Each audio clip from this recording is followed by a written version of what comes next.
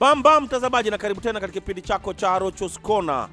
Awamu ya 17 dimba la taifa bingwa bara Ulaya zinafika tamati. Finals, jumla ya mabao 111 yameweza kufunga katika mechi hizo 50, na kama kawa ndani ya kipindi, upande wa kushoto niko naye the most little Kenyan defender Dennis Oliech. Oliech, mambo vipi? England, mambo England, vipi? England, mambo, mambo England, vipi? England. Mambo Nilikwambia vipi? aje? England. Nilikwambia yeah, mi tangu first game. Ulisema Watu wa Holland niliwaambia Eh, game yao unajua leo nimeingia studio eh, nimepata Jush ni kama nanyeshewa nyeshewa. Jush, hapo vipi? Referee. Ah, Ah, Hapana, ah, ah, hakuna ah, match ah, fixing. toka hapo. Hakuna Ah, match toka hapo ile ile iko penalty. ile iko penalty. Generation ya match fixing. Defender alikuwa anaenda You kuzuia. had 90 minutes. 90 minutes. Toka hapo. Wewe ni mchezaji. wewe ni wewe ifai uongee hivyo. Mtu mwingine akisema ntamwelewa nitamuelewa. Tuanze na wewe eh, Dennis. Eh. Kwa jumla, how has the tournament been?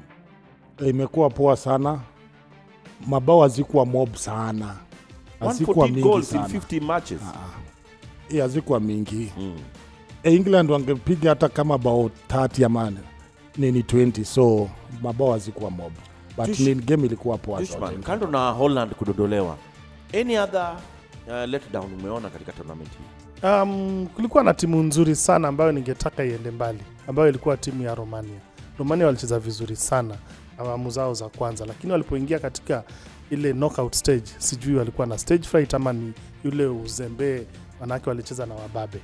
Uh, Portugal pia wakujifurahisha, manake walimbeba sana Ronaldo. Nadhani Ronaldo imefika tamati astaafu. Ulimwona hata yule Pepe, Pepe kidogo alikuwa ni Maji kama ilizidi maji lizidiunga. Kwa hivyo kuendelea mbele, wale nadhani sasa inafaa Ni yao ya mwisho. Dennis Oliech as a top striker in Kenya. E, ba mdogo miaka 16. Hata wewe ukiingia Harambee Stars ulikuwa mchanga. Lamile, tupatie maoni yako analivyochezea uh, hadi sasa timu yake ya taifa ya Uhispania. I think he's, I, I think he's the best uh, uh, young player sahi. So I think uh, I think uh, I think ana need time bado. Mm. For me ako poa. Atakuwa super striker. Atakuwa super striker. E, ako timu nzuri kwanza. Ako ako nini club poa sana. Okay. Sawa. Haya, tusonge mbele, tuingie katika fainali hiyo. Nataka kuanza na wewe Jushman.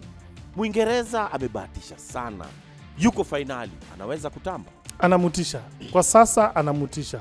Kumbuka amekuwa akiingia fainali kama hii ni yake ya mara ya tatu, na tangu mwaka wa 66 hajashinda kikombe chochote. Saa hizi hii fainali anaenda kujituma, atajituma sana, na Mwingereza ana historia ya kuibwaga Uhispania. Mechi hii patia pesa yako Mwingereza. Mwingereza. Now Dennis Oliech, um, Spain ukianza tournament, nobody alikuwa amewaweka mahali pa kuweza kutamba, na ukiangalia Mwingereza kwa sasa wamesema kocha wao Southgate wanamwongezea mkataba, inakuwaje?